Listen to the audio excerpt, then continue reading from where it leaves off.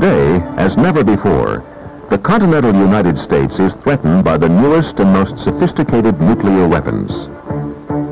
Our defenses are continually being probed. Our abilities to identify and react tested and challenged. As the military strength of the Soviet Union continues to grow, there is little doubt that any attack on North America would involve manned bombers, a threat that is both capable and flexible. The Soviets have been developing new, faster, and more sophisticated strategic attack aircraft. Their new backfire bomber, ostensibly a medium-range naval reconnaissance aircraft, is equipped for air refueling. Intelligence sources confirm that backfire has intercontinental capabilities for a nuclear strike against the U.S. The Soviets are testing new long-range air-launched cruise missiles for standoff attacks and are developing a swing-wing intercontinental bomber for supersonic low-altitude penetrations. To counter these threats, the United States has taken some effective defensive steps. Radar warning, surveillance, and control is being improved. Present continental surveillance radars are being replaced by a new radar network, the Joint Surveillance System. In addition, the U.S. Air Force is testing the new long-range over-the-horizon backscatter radar, which will extend detection ranges to more than a thousand miles and eliminate line-of-sight restrictions of conventional radars. To increase radar warning effectiveness, the Air Force is employing E-3A airborne warning and control aircraft to serve as moving radar sites, which can be positioned to bridge radar gaps and provide interceptor control. Even though surveillance and detection capabilities have been improved, the United States has yet to upgrade our interceptor force. The Continental Air Defense role now falls primarily upon the F-106, an aircraft with over 20 years of service.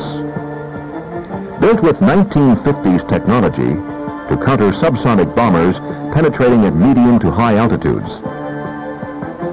Its fire control system cannot look down or shoot down, limiting its effectiveness against bombers penetrating at high speed and low altitudes. Because of its limited capabilities, plus insufficient and expensive spares, the F-106 is increasingly unable to fulfill the demanding role as our prime interceptor. Tactical Air Command F-4 and F-15 units regularly supplement active Air Force and National Guard F-106 squadrons. F-15 wings in the U.S. and overseas have had aircraft assigned to Air Defense Alert for a number of years. The F-15 Eagle is a proven interceptor. The United States Air Force selected the 32nd Tactical Fighter Squadron, based in the Netherlands, as the 1979 winner of the coveted Hughes Achievement Award for Outstanding Air Defense Performance. The Eagle is a superb air superiority fighter, designed for long-range intercept. With more thrust than weight, it can climb straight up. The Eagle has a dash speed of over twice the speed of sound. It can fly long distances to meet the enemy away from his target. The F-15's weapons system gives the pilot the flexibility in operations and tactics to intercept and attack autonomously. He can attack several targets head-on and beyond visual range, and then take advantage of the Eagle's performance to turn and re-attack the same enemy formation from the rear. The latest model F-15s include a digital programmable signal processor. PSP has a high-resolution raid assessment mode, so the pilot can discriminate between multiple clustered targets at long range. This feature allows more efficient use of armament against multiple plane raids. PSP software can be reprogrammed when necessary to adjust to changing threats quickly without installing additional hardware. With its pulse Doppler radar, capable of look-down, shoot-down, track-while scan, and ECCM, the F-15 can detect and attack targets in any weather and those attempting to employ electronic countermeasures. The Eagle is armed with the latest versions of the radar-guided AIM-7 Sparrow and the heat-seeking AIM-9 Sidewinder missiles, and with a 20-millimeter cannon. The F-15 radar already has the range and the modes to match the successor to present radar-guided weapons, the Advanced Medium-Range Air-to-Air Missile. AMRAAM will be lighter and faster than present weapons, and will give the pilot both multi-shot and long-range launch and leave capabilities. To counter the problem of enemy satellite surveillance, the U.S. Air Force is developing an air-launched anti-satellite weapon. This miniature two-stage rocket would be launched at a satellite from an F-15 at its peak altitude. Because of its exceptional climb and high altitude performance, the F-15 Eagle is an ideal platform from which to launch this weapon. The combat radius of the F-15 can be extended with the low-drag conformal fuel tanks known as fast packs. These streamlined pallet tanks installed along the fuselage can carry about 10,000 pounds of fuel or 227 cubic feet of equipment with no reduction in the number of armament stations. This increased fuel in conformal tanks means better mission flexibility, long high-speed runs, and more time in the air.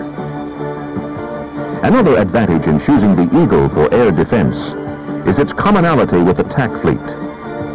This commonality in systems, logistics, and training also affects force structure and cost effectiveness. Air Force managers can make deployment decisions knowing the equipment and personnel are compatible.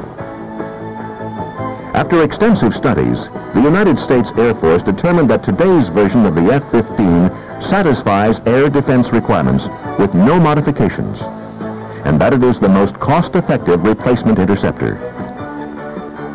Rebuilding U.S. air defense is worth the cost.